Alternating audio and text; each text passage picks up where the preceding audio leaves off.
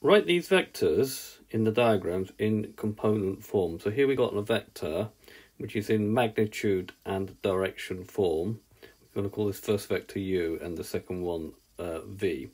Okay, in order to do this, we need to know a little bit of trigonometry.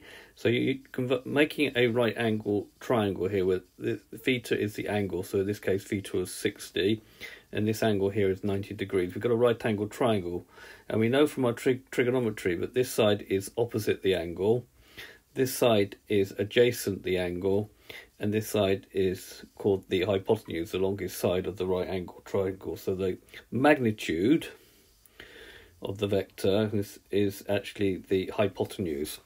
Now from this we can write a vector into what's known as component form. So the horizontal component which is represented by this line here, we know that cos theta is equal to adjacent over hypotenuse. So the hypot uh, sorry, the adjacent sorry will be equal to the hypotenuse times the cos of the angle, just rearranging uh, this is so we would have to multiply by hypo hypotenuse here.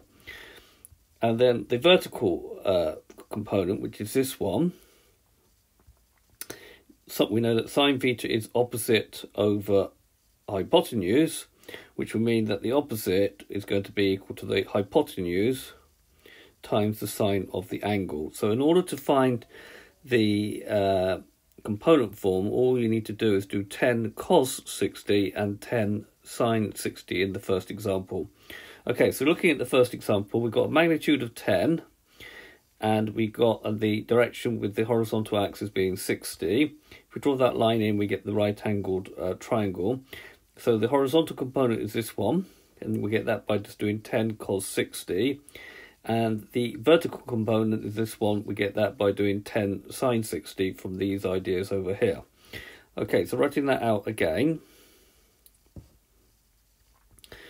So u, the vector u, will be equal to the horizontal component, which is 10 cos 60. That's called the horizontal component. And then we write it as a uh, column vector or, or column vector. So the uh, vertical component will be this one here, 10 sine 60. So as along the corridor up the stairs, same idea. This one first, this, this one second.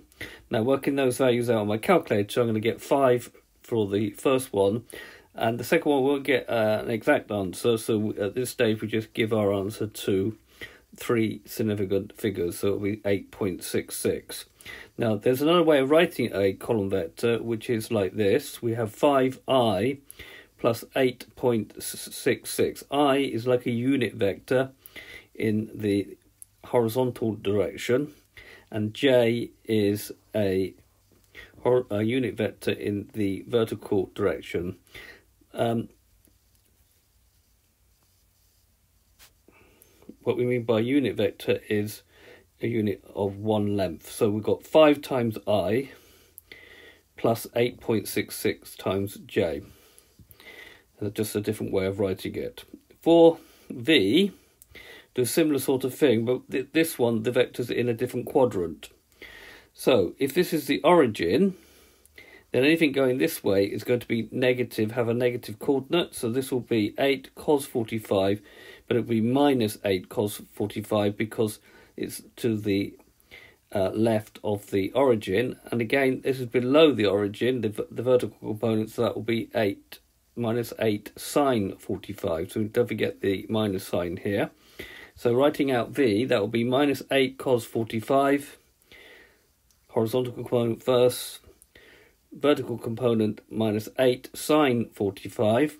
Working those out on a calculator and give them to 3 significant figures, we're going to get minus 5.66 over minus, uh, 5.66. Again, in writing it in this format, that will be minus 5.66i minus 5.66j.